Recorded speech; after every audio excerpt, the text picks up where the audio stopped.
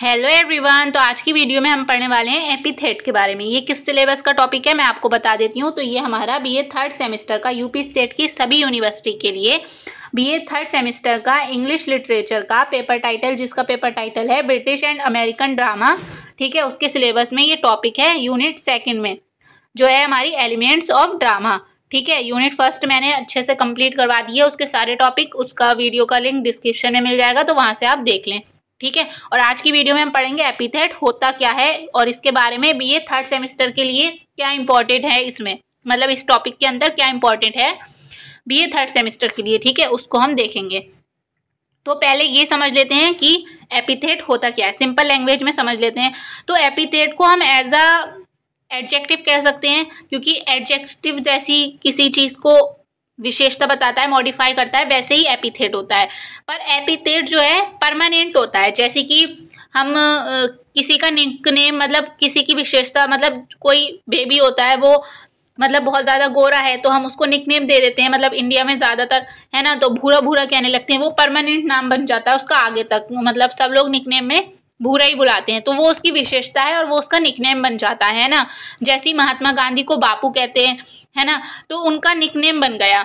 एक तो nickname type से भी एपिथेट होता है और दूसरा एक होता है कि नाम के साथ आगे जुड़ जाता है, उसकी विशेषता जुड़ जाती है। जैसा कि अक्सर होता है कि जैसे कि आप एलेक्जेंडर द ग्रेट ठीक है? तो एलेक्जेंडर के नाम के आगे उसके बारे में एक विशेषता जुड़ गई है एडजेक्टिव जुड़ गया है द ग्रेट और वो उसके जो पर्सनैलिटी है, उसको डिस्क्राइब करती है, वर्णन करती है। एक वर्ड से ही हम उसको डिस्क्राइब कर सकते हैं कि हाँ एलेक्जेंडर ग्रेट थे, ठीक है? सिकंदर द महान, सिकंदर महान, ठीक है? तो उनके नाम की विशेषता पता चल रही है। एक ही वर्ड से हम उनको, उनके करेक्टर को अच्छे से डिस्क्राइब समझ सकते हैं, ठीक है?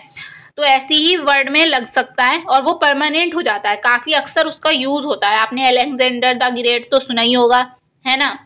और जैसे कि एक एग्ज़ाम्पल ले लेते हैं, रोमियो और जूलियट। इनके बारे में ये शेक्सपियर का ड्रामा है, ठीक है? रोमियो, जूलियट, इनके नेम को अक्सर ये कहा जाता है स्टार क्रॉस लवर्स कहा जाता है, रोमियो रोमियो और जूलियट को, ठीक है? स्टार क्रॉस लवर्स भी कहा जाता है। तो ये इनका एपिथेट हो गया। नेम ये है और एपिथेट ये है, ठीक है? तो इस टाइप से एपिथेट होता है। तो अब हम इसकी थ्योरी देख लेते हैं। और हाँ बी ए थर्ड सेमेस्टर में एपिथेट के बारे में ज़्यादा डिटेल में हमें पढ़ने की ज़रूरत है नहीं, ठीक है? वेरी शॉर्ट में आ सकता है या शॉर्ट में आ सकता है और ज़्यादा टाइप्स वगैरह इसके नहीं पूछेंगे। बस सिंपल क्वेश्चन आ सकता है कि एपिथेट से आप क्या समझते हैं एपिथेट क्या होता है, इस टाइप से क्वेश्चन आएगा, ठीक है? शॉर्ट में या वेरी शॉर्ट में। तो आप ये देख सकते हैं, ये शॉर्ट और वेरी शॉर्ट दोनों के लिए है। अगर वेरी शॉर्ट में आता है तो यहाँ से लेकर यहाँ तक लिख दें। और अगर शॉर्ट में आता है तो ये पूरा लिख दें। ठीक है? तो इतना काफ़ी होगा। और इसका हैंड राइटिंग नोट्स भी हैं, ताकि आपको अच्छे से समझ में आ जाए कि किस टाइप से लिखना है। ठीक है? तो आप देख सकते हैं, इस टाइप से इसको लिखेंगे। ये लाइन नहीं लिखेंगे, इसमें ये एक्स्ट्रा बस समझाने के लिए मैंने ऐड की थी, है ना? तो ये पूरा ही इस टाइप से लिखा है, ताकि आपको इसमें क्लियरली दिख जाए। ठीक है? तो आप पढ़ते हैं अपना epithet epithet is originated from the Greek word epitheton शायद मैं इसका प्रोनाउंसिएशन गलत करती हूँ, पर एपीथेटन थेटन बोलेंगे इसको एपिथेटन ठीक है? विच मीन्स एट्रीब्यूटेड और एडिट एट्रीब्यूटेड मतलब किसी को विशेषता को उसमें ऐड करना। ठीक है? एडिट मतलब तो पता ही है, किसी को जोड़, किसी चीज़ को जोड़ना एडिट करना, है ना? तो एपिथेट किस वर्ड से आया है? ग्रीक वर्ड है जो एपिथेटन उससे ये बना है। और जिसका मतलब क्या है? एट्रीब्यूटेड और एडिट ठीक है? एन एपिथेड एक epithet is a literary device ये एक लिटरेरी डिवाइस है। ठीक है? साहित्यिक उपकरण दैट डिस्क्राइब जो वर्णन करता है। आप पर्सन प्लेस और ऑब्जेक्ट ठीक है? किसी पर्सन को, किसी इंसान को, किसी जगह को या किसी भी वस्तु मतलब ऑब्जेक्ट को। बाय अकम्पेनिंग और रिप्लेसिंग अकम्पनिंग मतलब जुड़ भी सकता है उसके नाम के आगे। ठीक है? या फिर रिप्लेस भी कर सकता है, जैसे कि निक नेम होते हैं, पूरा ही रिप्लेस कर देते हैं नेम से। और अकम्पनिंग मतलब जो हमने अलेक्जेंडर के आगे द ग्रेट लगाया था, है ना? शब्द जुड़ भी सकता है या फिर उसके, उसको रिप्लेस भी करता है। It with a descriptive word और फ्रेज मतलब फ्रेज क्या होता है? वो वर्ड्स का ग्रुप ठीक है?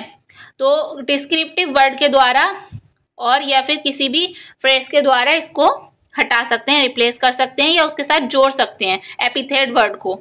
ठीक है? Once an epithet is introduce ठीक है? एक बार जब कोई एपिथेट को इंट्रोड्यूस किया जाता है it is often it is अक्सर रिपीटेड और ये रिपीट होता है। जैसे कि हम, किसी का नाम हम, जैसे कि मैंने एग्जांपल दिया था कि किसी को भूरा कहते हैं तो अक्सर हम उसको भूरे के नाम से बुलाते हैं, है ना? और वैसे ही अगर ड्रामा में हमने किसी के नेम की जगह कुछ उसकी, उसका कोई और नेम निक नेम दिया है तो वो नेम बार बार रिपीट होगा, है ना? Repeated throughout a piece of writing to create a sense of familiarity for the reader ठीक है? मतलब जब उसका परिचय करवाएँगे तो उससे एक पहचान की मतलब बार बार रिपीट होगा तो वो वर्ड उसके नाम से ही संबोधित हो जाएगा कि हाँ ये वर्ड इस इंसान के लिए ही यूज़ किया गया है। है ना? बार बार जब यूज़ करेंगे उस वर्ड को, ठीक है?